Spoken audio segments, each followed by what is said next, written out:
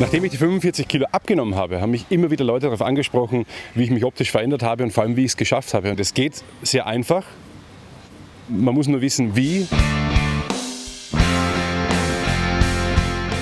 Das Steiner Prinzip äh, hat Essen als, als Schwerpunktthema. Es geht darum, was, wie, wie viel, wie oft, dass man auch weiß, was man da tut. Bewegung spielt natürlich auch eine Rolle, aber eben wiederum so, dass für jeden etwas dabei ist.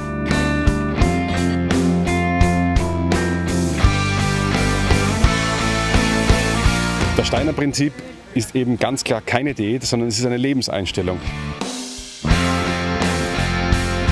Denn im Prinzip darf ich alles mit Genuss, das Essen soll auch schmecken, aber eben angepasst an, an meine Situation, wie ich sie brauche. Aber das Allerwichtigste, das jeder mitbringen soll, ist Motivation. Man muss einfach Spaß haben und, und auch einen Grund haben, warum ich es tue. Ich muss es wirklich von innen heraus wollen und dann funktioniert das Steiner Prinzip wunderbar.